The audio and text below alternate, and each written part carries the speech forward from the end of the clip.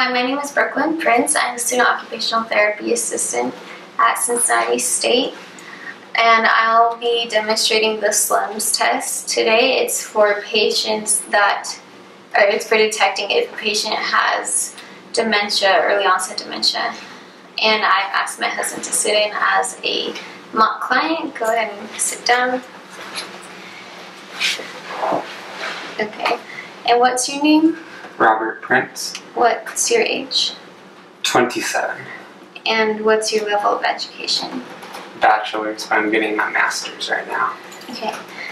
I'm going to read you these questions. All you have to do is answer them, and I'll be writing things down, but it's not a reflection of your answers, it's just what you say I'll write down. I'm not grading you or anything right now. Okay. So let's start. What day of the week is it? Tuesday, Okay.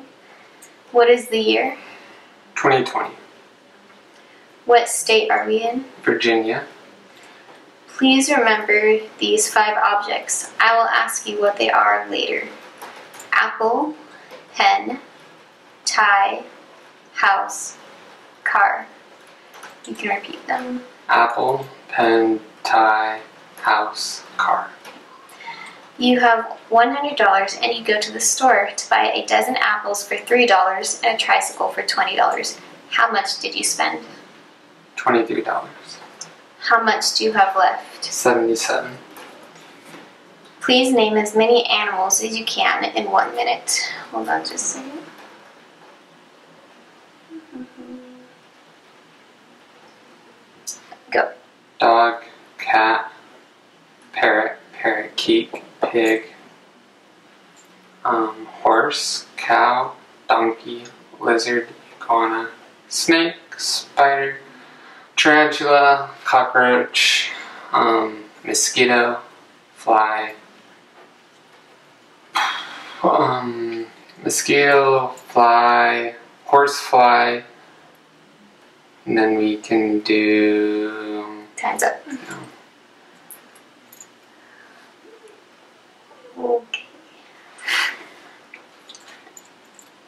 What were the five objects I asked you to remember?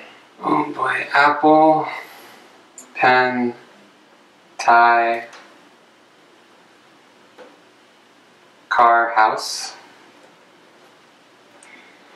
I'm going to give you a series of numbers and I would like you to give them to me backwards. For example, if I say 4 2, you would say 2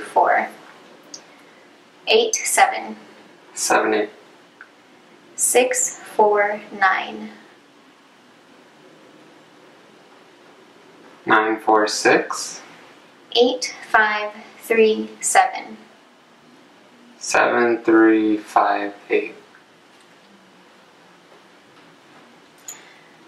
This is a clock face. Please put in the hour markers and the time at 10 minutes to 11 o'clock. And I'll make a bigger circle for you. Make the time at 11 o'clock. 10 to 11. 10 to 11.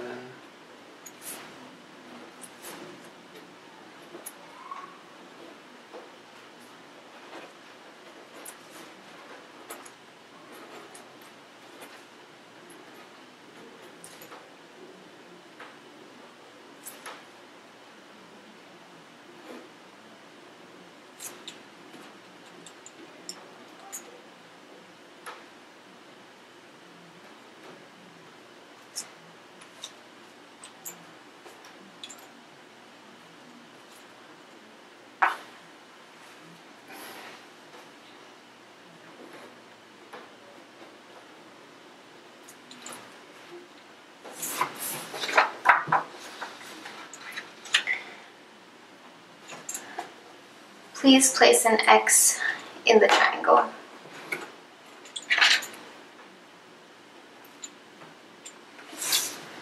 Which of the above figures is largest? The square? I'm going to tell you a story. Please listen carefully because afterwards I'm going to ask you some questions about it. Okay, I'm listening.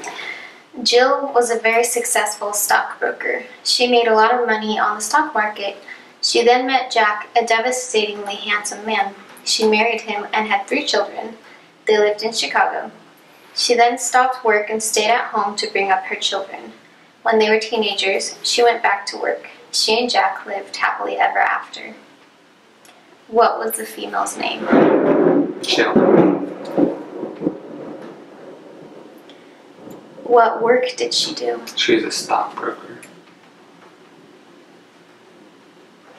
When did she go back to work? After she met Jack. After her kids, I guess. What's your answer? After her kids.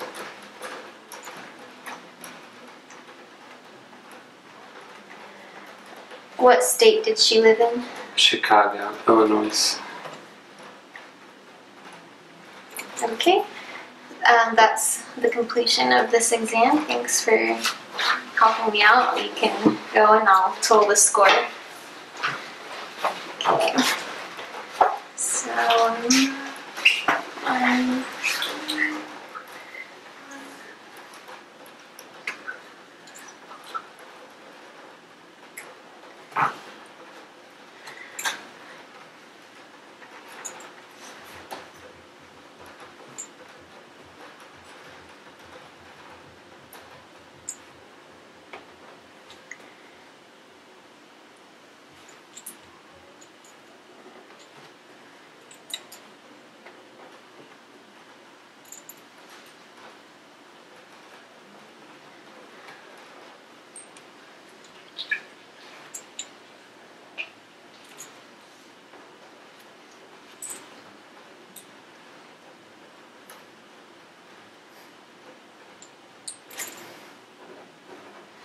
Okay.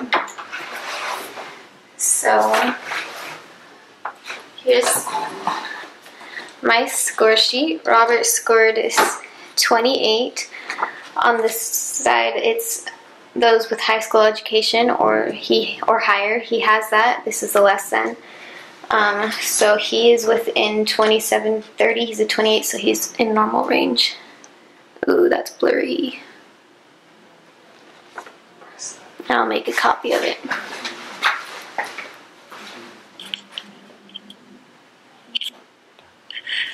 I'm done.